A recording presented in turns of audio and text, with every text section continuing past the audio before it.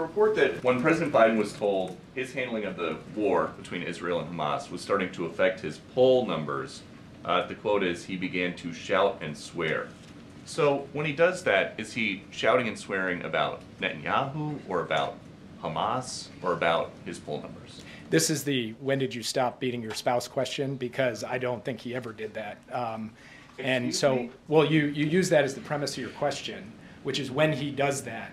He, I've never seen him do that, shout or swear in response to that. So, from my perspective, um, that uh, particular report is not correct. It was just odd, right? An odd parallel to bring in in such in such a setting. I mean, if I were Jake Sullivan, I would have said, "Yeah, he's really mad. He's mad about these low poll numbers, and he's trying to change it, which is why he's going all the swing states."